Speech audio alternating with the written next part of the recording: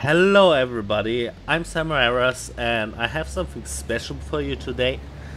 Some Germans might say a Schmankerle. So today I'm going to show you 22 tips to improve your quality of gaming life and Satisfactory. Tip number 1. Fill a container with small stacks of a specific item you want to remove out of your inventory easily. To use the store all button to just dump every item of that kind in your inventory in that storage. You can also do that with multiple different items in one container. Just make sure that the container is always filled to the last stack. Tip number 2. You can shift click on an item to move it to another container. Also, you can control click on an item to move all stacks of this specific item to another container. Tip number 3. If you open your inventory or some machines, you're going to have some bigger items called equipment shortcuts or relevant items.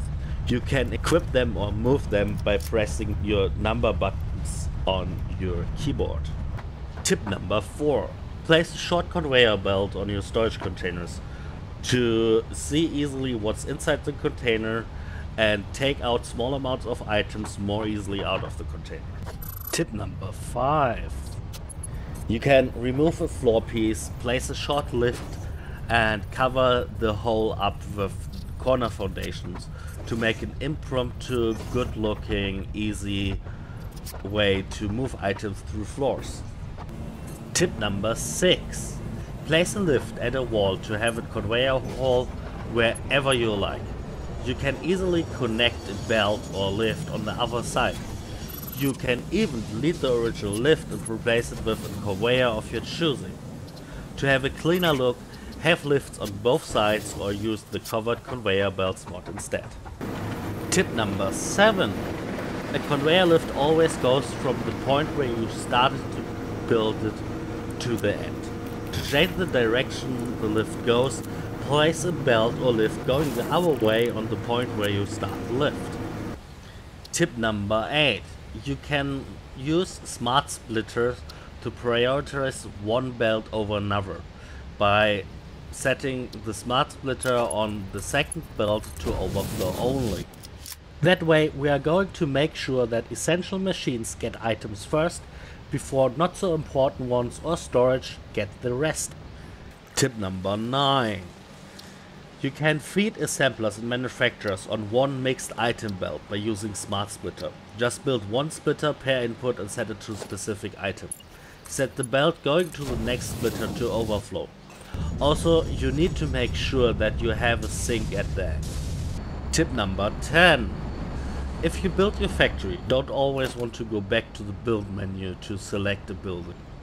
The easiest way to avoid this is by targeting an item you already have built and pressing the middle mouse button to grab the blueprint of that building piece. It doesn't get more easy. Tip number 11. Open the quick search by pressing N and write part of a building name. Select the building with enter to directly get the blueprint without the need of the build menu. Tip number 12. You can use the quick search as a calculator.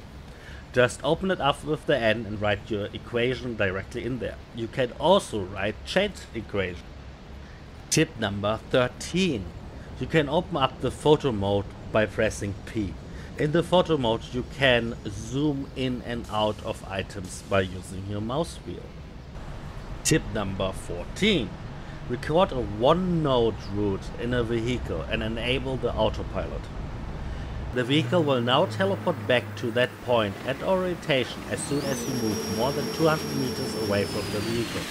That way you can make sure to have a vehicle on a specific point wherever you get there. Tip number 15.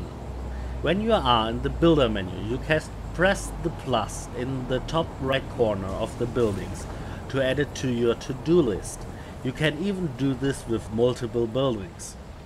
Do that to make sure that you take everything you need to build with you before you leave your base.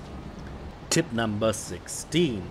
Use online tools like satisfactorytools.com and satisfactory-calculator.com to find where stuff is on the map and calculate your production lines in advance. Tip number 17. When you have your color gun, you can change the first color to any color you like. This will change the default color of your factory from the orange to whatever you want without the need to repaint everything. Tip number 18.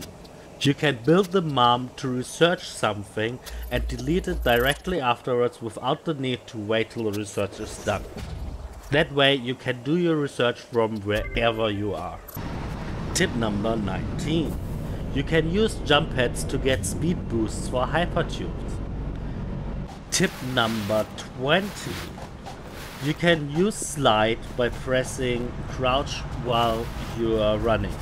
Use this to get under belts and through tight spaces. Tip number 21. Use your coffee cup from the Awesome Sink to have something equipped which doesn't really intrude into your screen and doesn't do anything annoying or problematic if you click your mouse button. No more swashing around of your bashing or eating nuts by accident. Tip number 22. You can lay two rows of foundations by standing on the side of one and looking downwards. And spam your mouse button while walking forward. You can even do this running with Blade Runners when you click fast enough or you use an auto clicker. But I prefer to have my jetpack equipped just in case I ever miss one and walk off. So those are the promised 22 quality of life tips. Make sure to leave a comment if you know any additional ones. Also, if you found this video helpful, make sure to leave a like. It really really helps to spread the video and my channel to grow. Also, subscribe if you haven't already to get all my new videos on time. That's for today. Thank you so much for watching. Have fun gaming and bye bye.